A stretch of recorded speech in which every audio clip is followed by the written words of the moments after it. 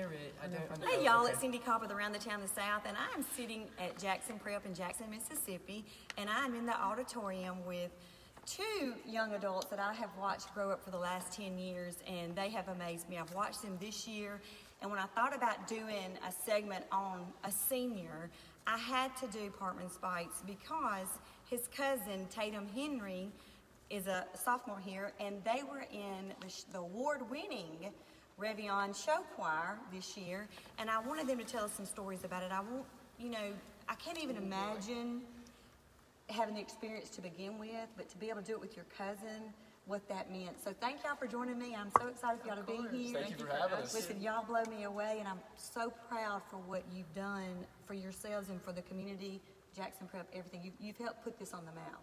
So, so you're a senior this year. Yes, ma'am. And you've been involved in the show choir for how long? Uh, for five years since my eighth grade, and then seventh grade I was in Patriot Singers, which is just like a choral music choir that we ran before that.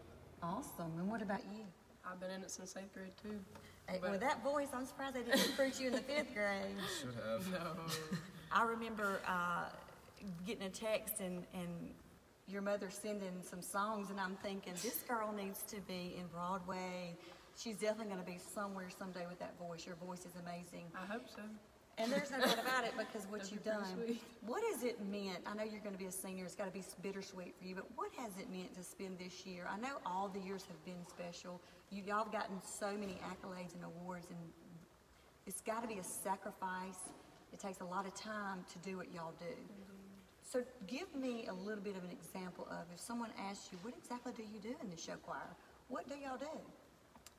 You want to take this one or shall Yeah, I? I'll do it. Reveillon is a culmination of a lot of things, most of which taking the majority of your time. Um, you know, ever since I was in the eighth grade, my dad always told me that between football and whatever else I had going on for the rest of the year, I always needed something to fill my time because he told me that um, idleness is the devil's playground, and I had no choice but to take that to heart, and I'm glad I did. But Reveillon has been the place that I've felt the most comfortable in anything that I've done. It's where I've found all my friends. It's where I feel the most comfortable. It's where I feel like I can be myself and be outgoing, and you know nobody judge me. And if they do, then there's no point in putting up with them anyway. The um, the main thing that Reveillon has meant to me over, especially this past year with Tatum in it with me, is there's there's nothing like being able to share this experience, especially with somebody that you love. Um, we spend just countless hours. We spend Two minutes. fif- 15 hours a week minimum around each other, whether that's class periods, rehearsals, whatever it may be. So you you're forced to form a bond that you can't you can't get away from. And so first impressions are important, yes, but you know, you never you never really are able to understand exactly what somebody is all about until you spend that amount of time with them. And through that, you know, I know Tatum and I have grown, you know, eons closer together because of that. Definitely. Um, I will say, I'll be honest, I didn't want to, I wasn't really sure about doing Reveillon at first, just because I didn't know if it would affect, like, I mean, it was my first, like, big year going into high school, so I was, I was just kind of scared about a bunch of different things, and then Parkman was jumping on me, he really want me to do it, he pulled the senior card on me, so I guess I was like, ugh, fine, and I did it, and, like, Sorry. one minute. One minute. Would you look at Would that? you look at there? Perfect. Perfect timing. And by the way, we are in the auditorium, and I wanted to have it here because this is where you spend a lot of your life. Yes, Especially ma'am. you, and you have Yes. two. It's absolutely beautiful in here, and I really wanted to have it in here. So, pardon the inter- interruptions, but it was very fitting. It was fitting. So sorry about that, No, Tatum. that's fine.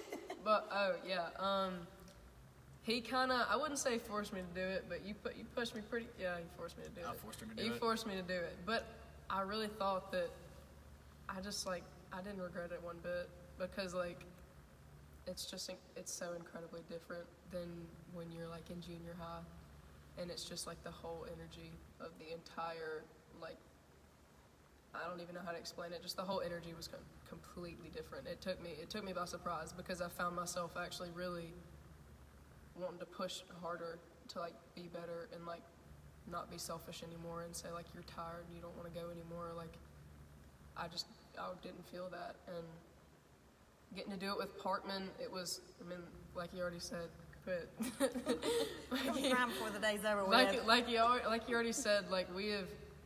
I can't even explain how close we've grown now. Like we we've always been close. Our family is always, it's always been like that. But like I'm the youngest of the family, or I was, and so it was always him and the boys when they were older and stuff. But like this is this is like our thing, and we've spent so much time together. Like from school to after school rehearsals, listen to each other complaining about going to rehearsals. then we get into rehearsals and All that goes out the door. it does it does go out of the door. But like not only that, but I also learned if you put yourself in a good mood, it's it's smooth sailing and It's it's, a like choice. A, it It's a choice. It really is. I and love you have to you- learn to make it. I love what you said earlier. We all have fears in our life. And I'm pretty sure you walking in thinking, okay, am I going to, to meet the standards? Mm-hmm. Am I going to be able to keep up with what he wants me to do? All of those things had to be going through your mind. But I love what you said. He helped you walk through basically the fear of this year. And it's been worth Mm-hmm. That's it. so true because everything I said, everything I would talk to him about, saying I, I really don't know about this or I'm kind of nervous about this, he would just he would just like tell me a reason not to be and tell me the good side of it, and then I'd walk out of the other side thinking, yeah, let's do this. Like just a really positive energy for you there, Martin. Well, and the best thing is, Nick, you're going to graduate. That's going to that's going to be so different for you next year, I know. But guess what? The, you're a phone call away, Exactly. and you know you have that support because of what y'all mm-hmm. built. That's awesome. That's that's honestly been my favorite part is getting to play the part of the mentor, because during my sophomore year, I remember I made you know I made my best friend to this day, Easton Sheffield, and he, yeah, even this year I'd call him when I'd have problems. I'd be like, dude, I don't know how to work through this, and he'd stay on the phone with me. We'd have 30 minute conversations on how to deal with it. It's it's just it's something that doesn't ever go away. And the relationship that you like uh, when I was in ninth grade, the seniors who were in Reveillon, you know, I always looked up to them. I was always wanting to be like that. And you know, those are guys that I barely knew, but just through show choir, we've gotten closer. And you know, they're juniors in college now, and I still call them and talk awesome. to them. And I know we talked earlier, just not only the impact you're making as a role model. People are looking up to you saying, "Oh my gosh, I want to be able to sing like Tatum. I want to be able to dance like Parkman," because he's already told me he's a dancer. I'm not a singer. It's not just it's not just within these four walls. I mean, y'all have made an impact in our city, in our community, especially with the awards. And I know y'all got a big award recently. Tell us about that and the feeling. I can't even imagine. I watched everything on Facebook and I kept up with I can everything they were doing one out. through. Yeah, and it was just amazing. I'm like, I can't even imagine. So, what was that like? What did, what was the? I'm not going to announce it. I want you to. Okay. that whole no, let me cover this one. that whole competition. What was it? Uh, it was nationals in Chicago. Okay. Actually, it was the it was the Fame Nationals competition. It was crazy. It was. It really was. Well, that the night before that, I, I was so sick. I was so sick, and She so was. the day of the competition, I was like, I felt like I was dying. Like I won't even lie. I felt like I was dead. I was so dehydrated. I was like, I was like fixing to pass out any minute. Like, and we had to get up there and do that.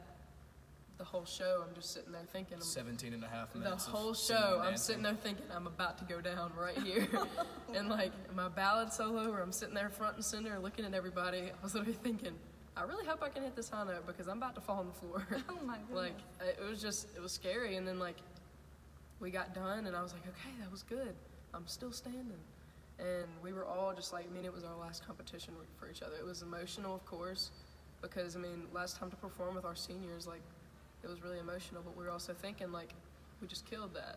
Like, we, we loved it. And Walker J got best male soloist, and I got best female soloist, which, I mean, it kind of shocked me because of the state I was in. I mean, I don't know, but and then we won, which is it was insane. It was the best feeling ever, and just doing that whole like, just the whole way the trip was set up, all the time we got to spend together, and just like, because I know I created a bunch of new bonds in Chicago than I had before, and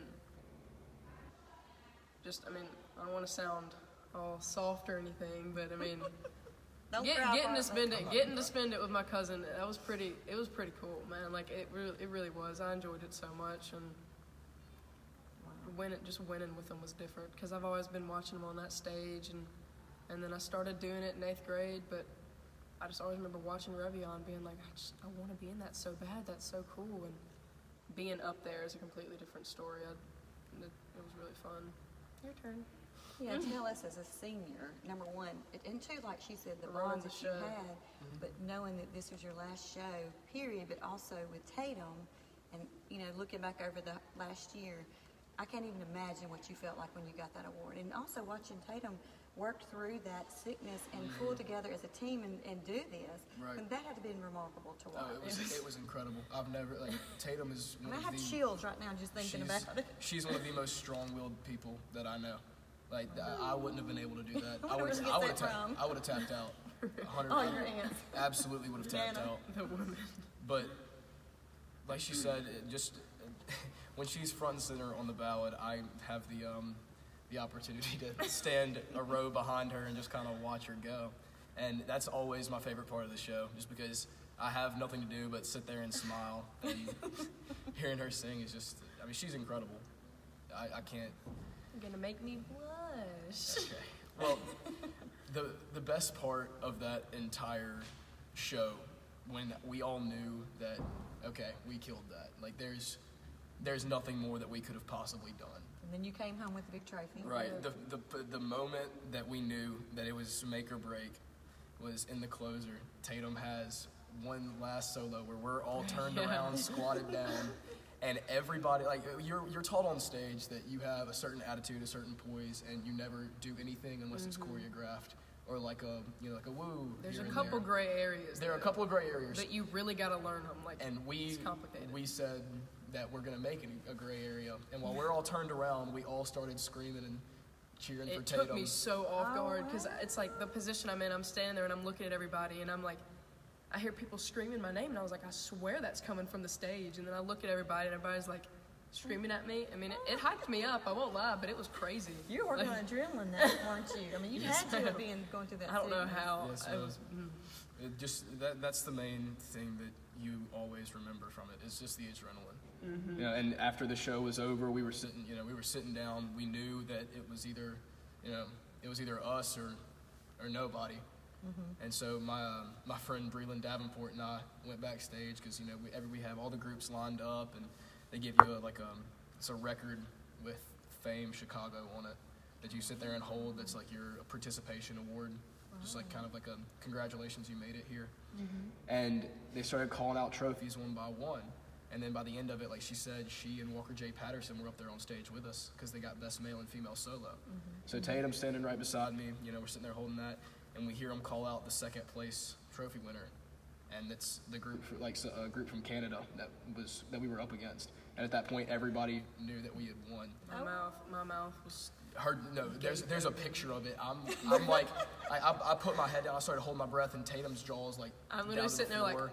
And Breland's We- crying over there. Breland- Breland like we were all like, "There's immediately. no way this is it happening." was it was in, like Breland goes, "Pardon me, you have to go get the trophy. I can't walk."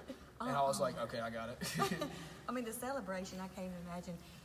You know, you're going to be telling your kids and your grandkids this the rest of y'all's life. Not just the experience, but y'all getting to do together. And mm-hmm. I love that, like you said, the mentorship. You, he mentored you. He And- really did. And I say this for a reason.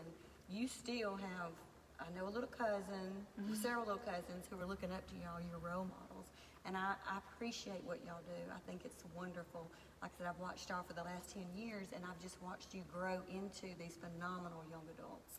And I wish you well. I know you're going to Mississippi State. Whoop, whoop, go dogs. Go dogs. Go dogs. Um, and, and I'll get to watch you the next couple of years grow even um, as, a, as a better singer, a better person, as you become the mentor. Because that's what happens. You become a better person when you help people and lift people up. Exactly. So, I always love this question. I'm going to go ahead and ask it.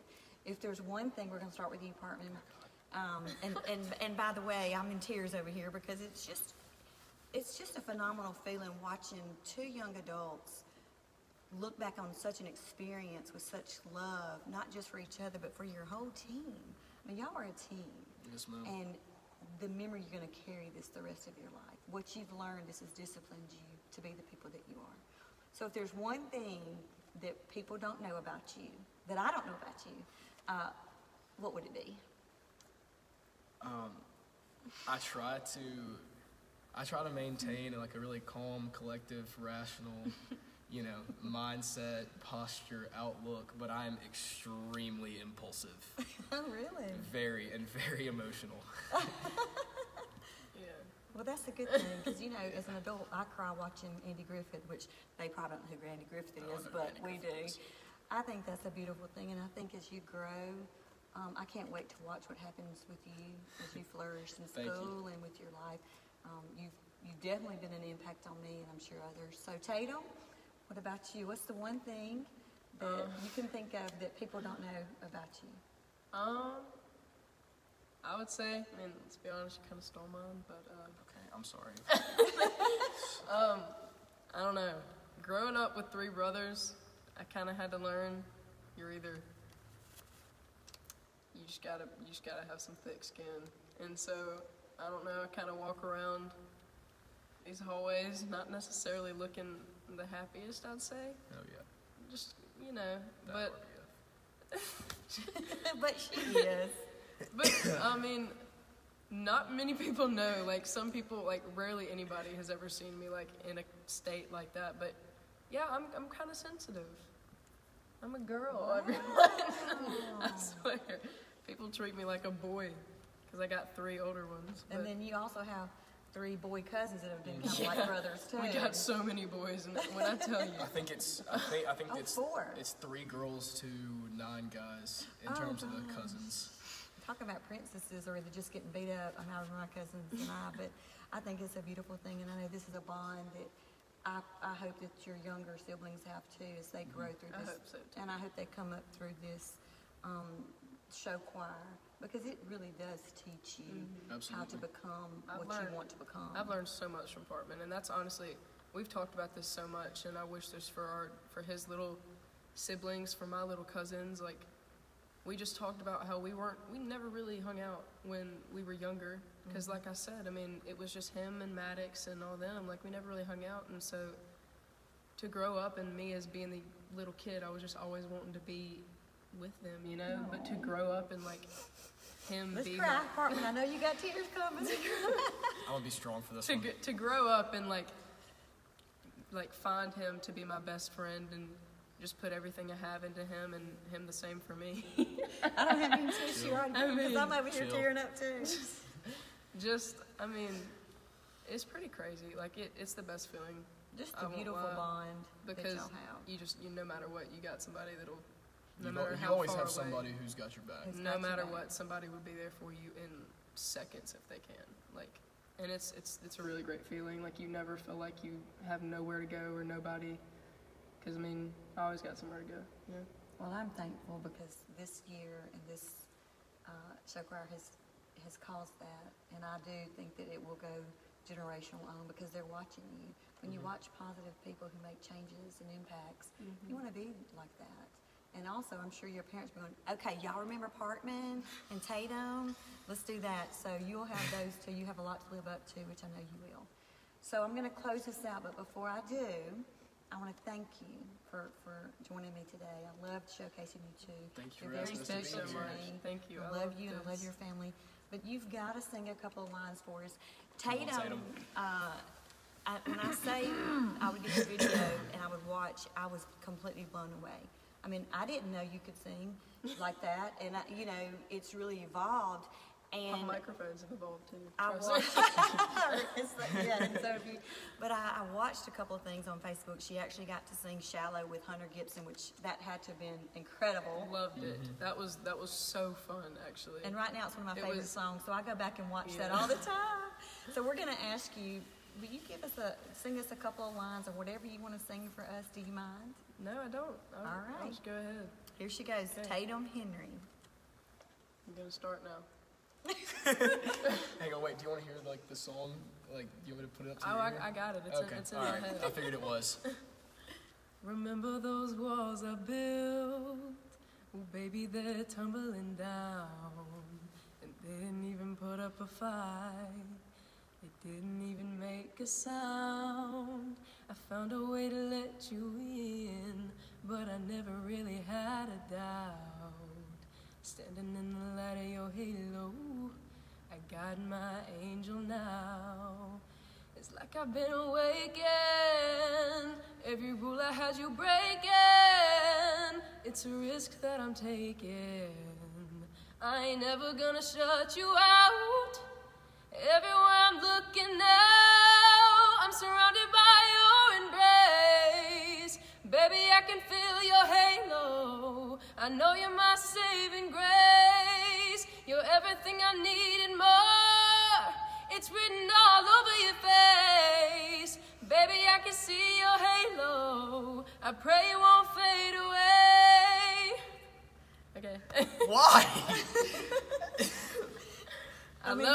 Beyonce. I mean, that, I have chills. That was just Or I incredible. can hit it with the "For call of my Please don't. I ain't ready for that. I know I can. I don't think I can handle that right now. Well, that that was amazing. Thank you. Oh, thank I you so I have much. chills. I mean, I hope you. I know you enjoyed. I, there's already likes and hearts up there. Okay, now we're gonna act like cousins. I love it. Sorry. Thank you all so much. I love each and every Thank one you of you. asking I'll us. Thank you for having us. I'll, I'll continue to watch you, y'all. We want to thank Jack, Jackson Prep for letting us use the auditorium for this. We will be back. I'm pretty sure. I'll be I watching you so. the next couple of years. And if y'all have a reunion, I'm sure you'll be back for that. Oh, absolutely. Absolutely. So, yeah, we cannot do these without our sponsors. We want to thank Village Boutique, Madison, Mississippi. Cutest um, ladies' clothing store you've ever seen. I know your your parents shop there. Your So your mothers. Oh, yeah, I shop there. Forgive. Also, Nandy's Candies. Um, right now, the snowball season. Oh Pop my gosh, there. chocolate covered strawberries. So good. They are divine. So good. Nothing We, beats and it's a 'em. staple. we Nothing love beats Nandy's 'em. candy and the perfect pooch. It, I know y'all have a little Yorkie and a new puppy. We I got a new uh, we got a new dog. He's a golden doodle. His, Well- They name's, feel like he feels expensive. Like I feel bad touching him. Like his name is Jerome. Which Oh my is, goodness. Jerome. It's Jerome. It's great. And they have a little Yorkie like my Yorkie. bring my sweet perfect pooch for your grooming and your boarding needs. Pop in there, tell them we sent you. And thank y'all for joining us. I hope you like and share this. We want the whole communities to know what kind of students we have, not just in Jackson Prep, but in the whole state of Mississippi. So y'all, thank y'all for watching, and we'll see you around the town. Thank you. Bye. Thank you. thank, you.